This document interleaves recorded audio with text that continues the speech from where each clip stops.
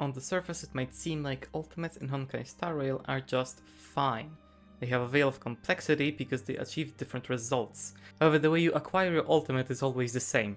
It doesn't matter if your ult deals damage or heals, it is always a cycle of charge up to 100%, use, go back to zero. Argenti is a nice break from the monotony, having an ultimate with just two levels of charge, however it relies on the same base principle. But how would we even go about making an ultimate that does not use en the energy system, or uses it in a different way? Well, there are a lot more ways than you could imagine.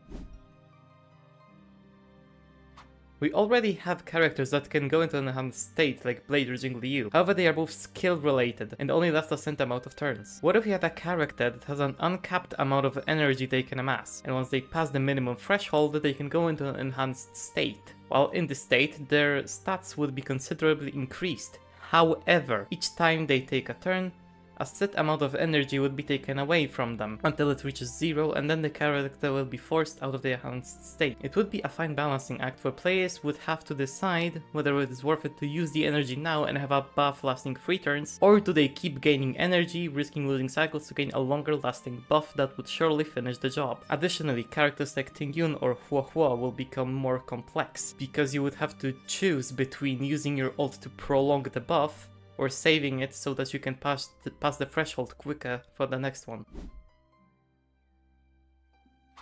Realistically speaking, there is only so much that can be done with HSR's energy system, and we are far away from reaching its fullest potential. However, it would still be a nice change of pace if you get a character that does not rely on energy in any sort of way, shape or form. What if a character had to fulfill certain requirements to use their ultimate? For example, need to take damage 3 times, attack at least 3 different enemies or an elite, and have some sort of a buff from a different character. Only then they'll be able to use their ultimate. And to not make it too overpowered, you'd have to have a cooldown of, say, 2 turns for example. That could be a fun side grade and would create unique synergies between characters. This one is probably the most crazy and realistically work as a part of a kit of a single character. However, it is still a unique way to use the energy system and the idea can be improved, so I still want to throw it out there, so Hear me out. What if we had a character that does not have an ultimate?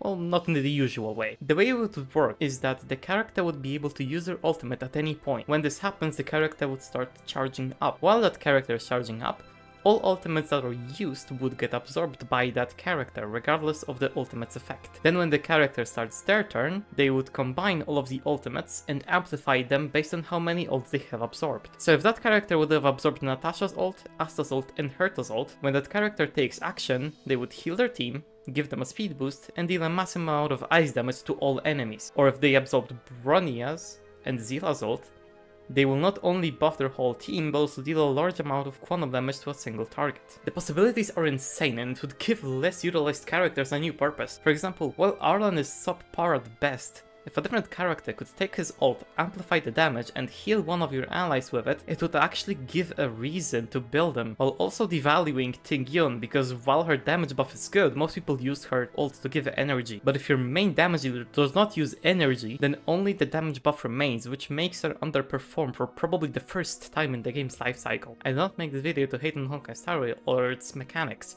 I think the game is great and I see a lot of potential in the game's systems, which is why I am making this video, because I want to see potential realized. I hope you enjoy the different type of content and I hope to see you in the next one. Until then, take care and goodbye.